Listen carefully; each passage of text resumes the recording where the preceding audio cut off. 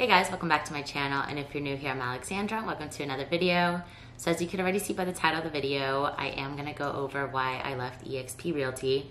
I joined them back in late April when um, I first got my license.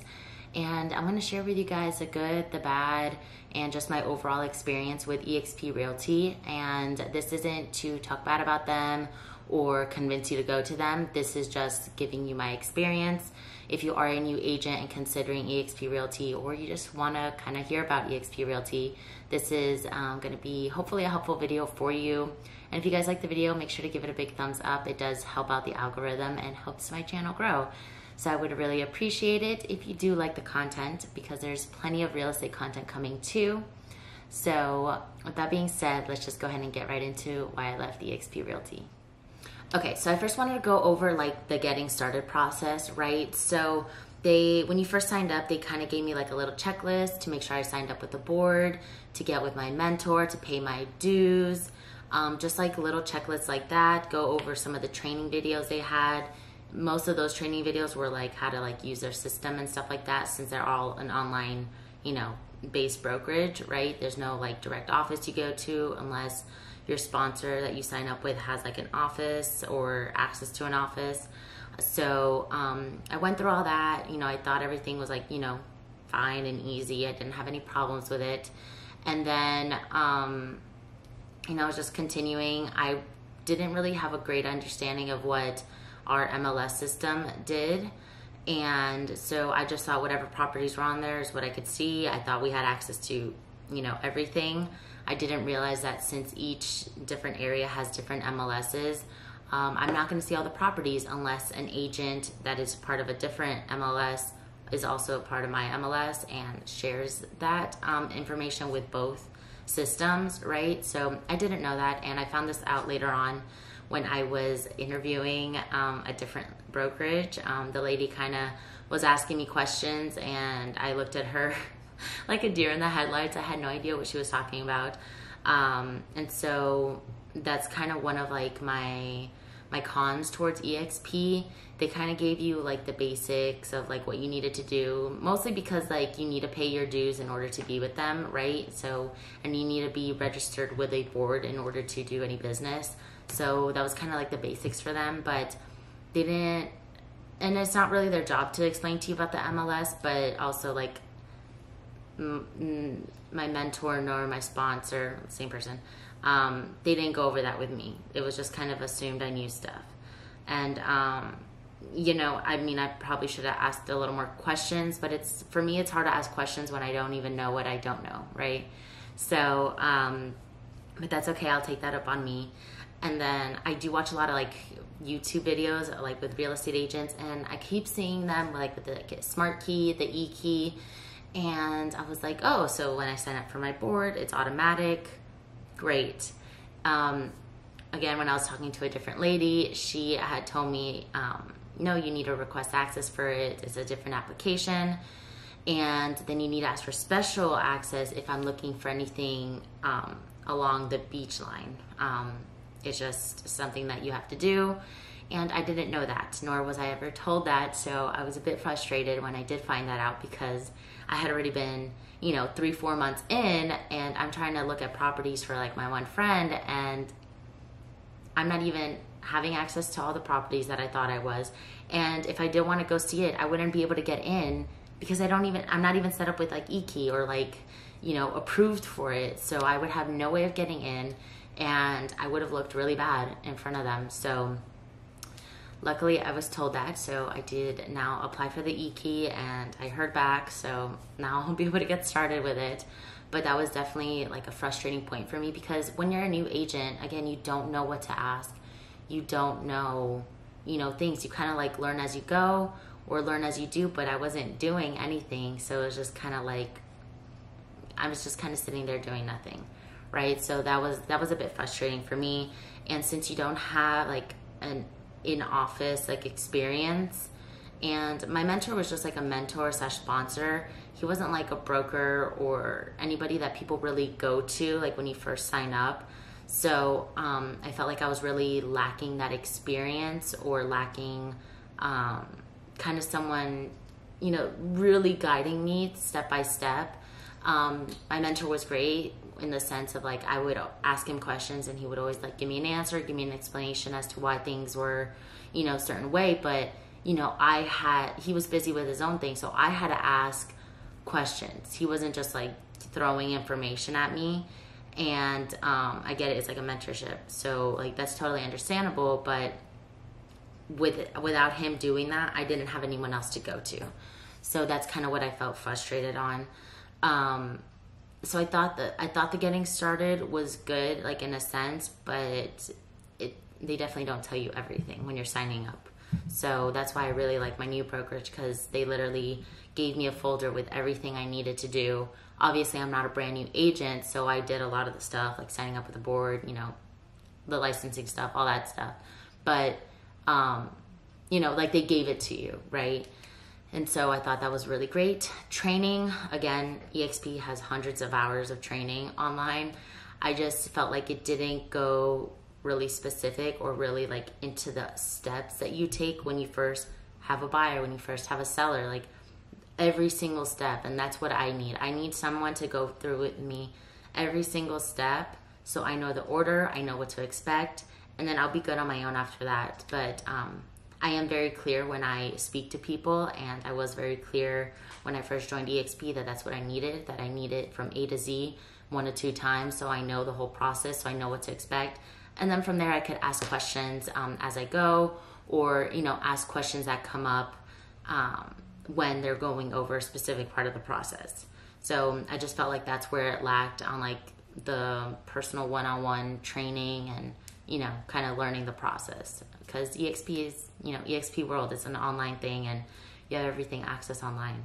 So with that being said, on just like the whole getting started part, I definitely feel as an experienced agent, you wouldn't have, you know, too much to worry about because you have everything kind of set up and you don't need exactly that guidance or someone to tell you what you need.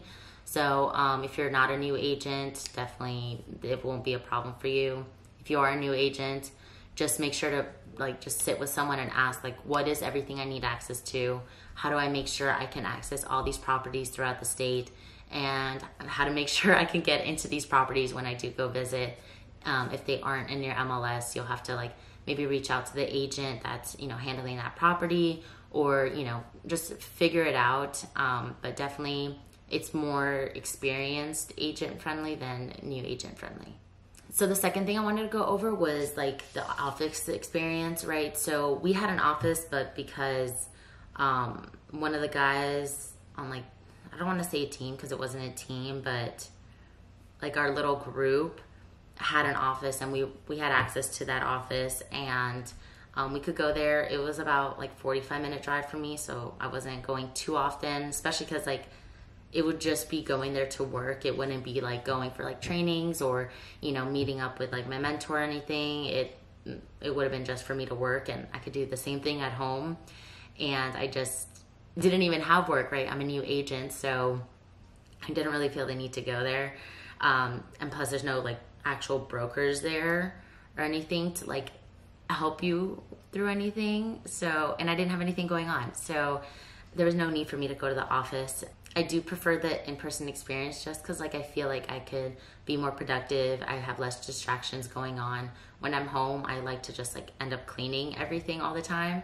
So being in office allows me to just focus on work and then when I'm home I could focus on cleaning or whatever I want to do around the house at that point. The third point is just like the guidance offered, right? So again, I have a mentor and um, he would host like uh, daily calls you know, and we would kind of go over what went on throughout the day. And like, it was like a group of us calling in and what went on throughout the day, the good, if we need help with anything. But again, like, I didn't have anything, so I didn't need help with anything because I have nothing going on. So I didn't find it too helpful for me personally. Um, I know a lot of people on the call liked it, um, obviously, because like they were all doing stuff and they could you know, bounce ideas back and forth and get opinions on how to handle a certain situation. And it was it was like nice for me to hear sometimes because some of it like like I could take it into account. So if I ever experience anything like that, I can. But overall, I didn't feel like the calls were too too helpful, so I stopped going to them. So yeah, I stopped going to them, um, or calling into them. With that, all that being said, again, I think EXP for experienced agents is definitely the way to go. You could build a team without building a team. You could, you know, recruit people, make your money that way if that's what you want to do. Um, you know, you're more independent. You already know what you need to do, so you don't need access to as many resources. And they do have resources in their EXP world, but you know who to go to. You know, you know more of what you're doing, right? Or who you need to reach out to and stuff like that. I don't think it's new agent friendly at all and um, you know i may consider going back once i'm like more experienced and you know want a larger cut of like my sales and stuff and not pay royalties and all that fun stuff.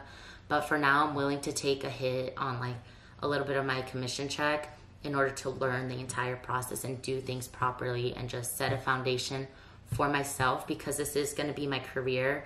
This isn't just like a hobby i'm doing right? This is like my career. This is you know my livelihood so I am willing to take a little hit on that to just get the full experience and full knowledge that I need in order to be successful. And so now to hear where I went. So before signing with EXP, I did interview Coldwell Banker and Keller Williams, and um, that, that, they were both great. Um, they just didn't feel like the right fit to me. I like the offices I interviewed, and then I decided to go with EXP. And then once I realized I wanted to start looking at new brokerages, I did um, look at a brokerage in Winter Park, which is like the area I really like. And it's called Weichert Realtors Hallmark Properties. Um, they have 20 offices in the state of Florida, but um, they're originally from New Jersey. It's a very well known company up in the Northeast, and they have an amazing training system. They have amazing processes, and I'm all for like having a process. I love it. I love the organization of, you know, having structure. I love structure. So um, when I went for my interview, they went over all the training they provided for the month. Um, they they went over like kind of stuff they host in like their office. She told me how you know agents do like come to actively work in the office regularly. She's always there. Um, I if I ever need any help, um, let's say I'm in a different area and I need to like meet with a client in that area, I could always use their office if it's like open um, or if no one's using the space, right? So I have I have a ton of resources. Um, all the classes are in person, and I just feel like I thrive better that way. Um, and I'm just really excited. I I just honestly I fell in love with the structure. Um, I do have to pay a royalty, and I do have a larger cut taken out. But like I said, I'm willing to take that hit in order to learn the process correctly and thoroughly because this is not a hobby to me. If it was a hobby, I would not be spending so much time on it and I would not have quit my 9 to 5 job to pursue my hobby. Like that's just that's just not how I took it. So I am really excited to start with this company. I already went to one training and it was very helpful. Um, I love going in person because you they give you like examples or like their experience with certain things as they're teaching you a topic which i find really helpful to relate to what i'm actually learning. And that's why i love in-person classes because like online you're just going to get the direct information and you interpret it how you will. But with someone explaining to you and giving you their experiences it's completely different and it's it, to me it's so much better.